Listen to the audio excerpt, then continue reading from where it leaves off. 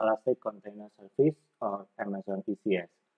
This is a service that allows you to run Docker containers, uh, to run a cluster of Docker containers, and then run tasks or services on them. So let's see how we create a cluster. So from AWS Management Console, we find, click the ECS. Now ECS is a EC2 cluster or a Fargate cluster. Fargate has um, minimum maintenance uh, requirements or maintenance effort. Everything happens automatically, but it's a little bit uh, more expensive if uh, your workload is full. And using Fargate, you are not able to mount persistent storage. And EC2, uh, ECS cluster using EC2 is more manual. You have uh, more control over mount points, EBS mounts, uh, and uh, the price is slightly cheaper than Fargate. But if your utilization is not 100% or 90%, EC2 is actually uh, a bit more expensive than Fargate. So I want to create a cluster. I want to create a cluster for my NFS share. So I want to create using EC2 cluster. Uh, this is if you want Fargate, uh, use this one. But I want the EC2 cluster, and my EC2 cluster will be this. So, and then you can choose the provisioning on demand or spot. And then choose the instance. So I will only need a very little amount of memory so I can choose the nano one. For nano there are three, T3 nano. This is for Intel and T3A nano is for AMD processor the AMD one is a little bit cheaper than the Intel one. Nano has only about 500 uh, 500 megabytes of RAM, and we can put number of instances. I only have one instance here, and I will choose the key pair. If you don't have one, you need to create it first, and choose the VPC, and then choose the subnet that you want to use. I want to use uh, my preferred subnet is the US East 1A and the security group. Uh, I will create a security group for EFS this one. And uh, you can create a new security group. Uh, okay let, let me create a new security group just to make it uh, much easier to follow. So this is my security group.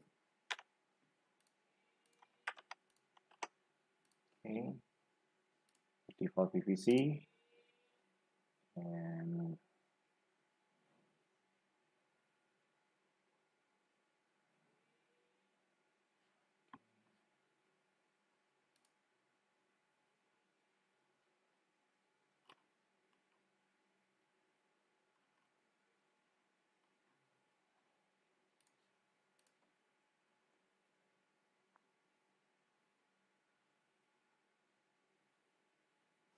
okay I need to create this security group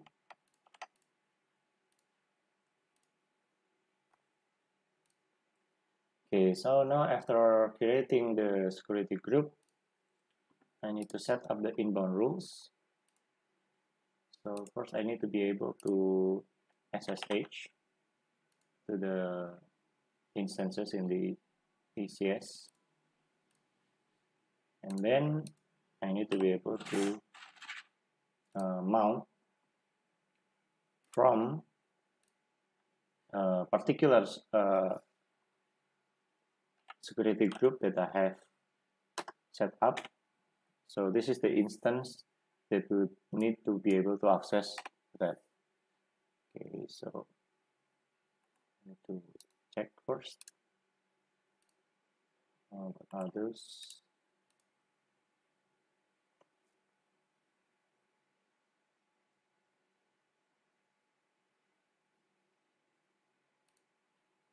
Okay, so my security group is uh, this one.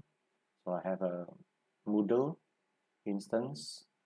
So I need to copy the security group name. So I want to be able to uh, the instances in this security group can access this EFS, uh, this NFS. Okay, so that means now uh, I can use this security group. Okay let me recreate this again. To Linux networking. And then my cluster name is NFS Moodle.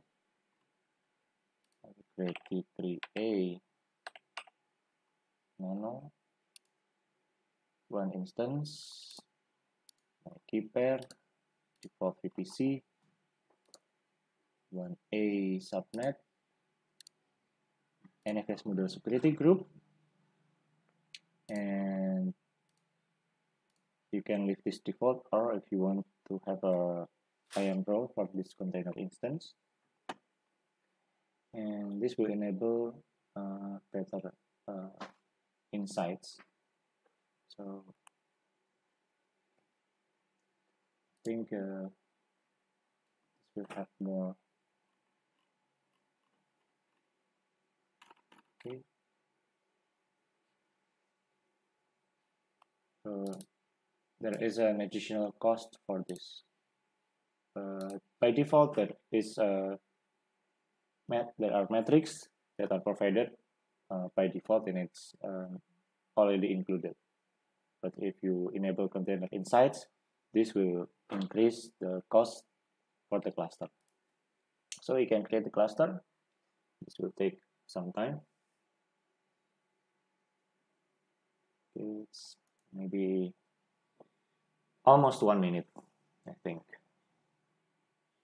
Okay so this one is almost ready.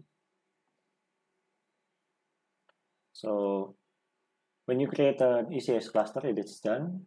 It will create, uh, you will use the security group that uh, you have set up. So actually there should be a new security group here.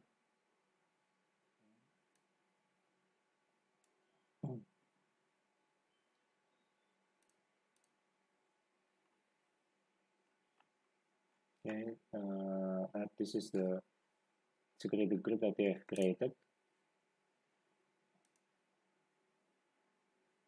This one. And then uh, it will create a launch configuration and auto scaling group. So now it is ready and we can run services and test on this. Thank you.